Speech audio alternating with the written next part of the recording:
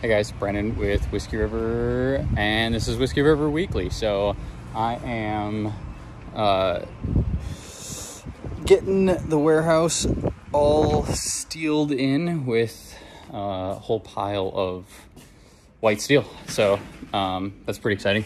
We've been working on that all, not all week, but majority of the week. Uh, every day we've been chipping away at it. So um, updates wrenches, wrench bottle openers. Um, those are live on the site now. James Fleming forged them for us. They're the last of the uh, USA made crescent wrenches, and they are available on our website as bottle openers. So, pretty excited about those. Uh, as many of you know, Crescent shipped their operation overseas, and um, so we bought a bunch of the USA made stuff off of a surplus company. We have the front building completely demoed.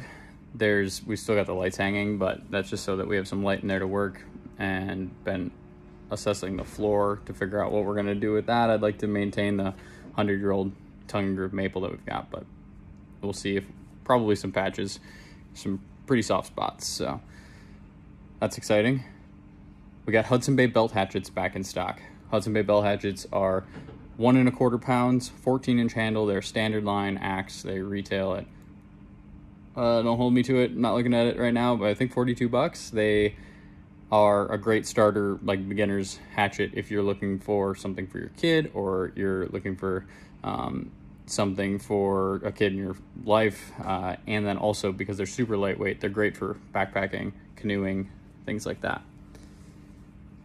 what else I got? Oh, Dalton's coming up this weekend, which is super exciting. Uh, he's coming up to shoot some videos and just see the new place because he hasn't been up here yet. He works remote still from our old hometown, Fort Atkinson.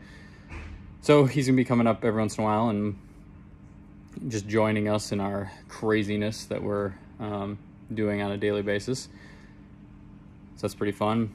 We got new walrus oil products, cutting board oil, loggers, hand salve and uh, Logger's lip balm, which, you know, works good on your lips in the winter. I don't know how and your nose. My nose gets super chapped in the winter. Um, so I'm excited to try that once it starts drying out. I've been riding three-wheeler to work, which has been super fun. There's a couple videos on Instagram that you can check out for that.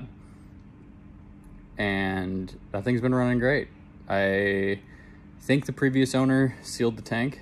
Like it must have had some rust in it and he sealed it because that sealant's like coming off into the carb. So I've been really struggling with that. Not sure exactly what to do there. Besides just keep cleaning the carb out and hope that it goes away. Um, but at the moment it's running great. I, I've probably put 15 miles on it in the last few days and that's been quite fun just a little 110, nothing crazy. It doesn't really go that fast. I think it does like 30 tops, so feeling pretty good about that. We're gonna be doing some interviews this weekend with uh, my buddy, my buddy Jacob, who's a forester, and also uh, my buddy Todd, who owns Delta Diner, which is located in Delta, Wisconsin, just up the way from here. And I became friends with him in the, since he's in the area and a business owner, and we've really hit it off.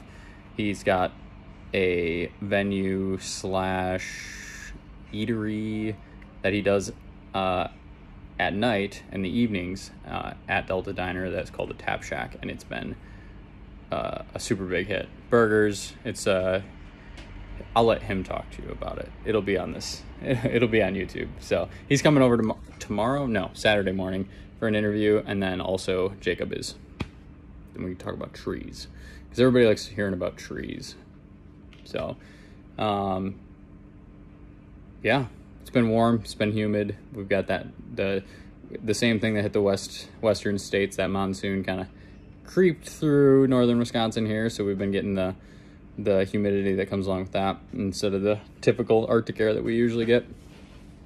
So, yeah, I'm hoping to share with you guys a nice video of the warehouse soon once we get all the steel hung up and some more racking up. It's been just a disaster and we've been shipping off of pallets over the last few weeks, few months really, and it's finally starting to come together where we're getting the walls insulated and uh, sheeted so that way we can get racking up and get everything back order in order and actually be able to use our space efficiently. So that'll be, I'm sure Dalton will have some things to say about that to help us with organizing and sorting. So yeah, well, I think that's it. I think that's all I've got. Uh, I leave for Vegas next week, uh, middle of the week, it's to haul the horse sculpture, and that'll be a there and back trip with my buddy Jack, and we will be sharing a lot of stuff from that. So stay tuned. Uh, if you have um, Instagram, stay tuned on Instagram. I'm going to try to share some stuff on Facebook, and I'm sure I'll upload a video of that trip then. But otherwise, uh, until next Friday, it's Whiskey River Weekly. It's Brandon with Whiskey River. Stay sharp, stay safe, enjoy your weekend, and uh, be good, guys.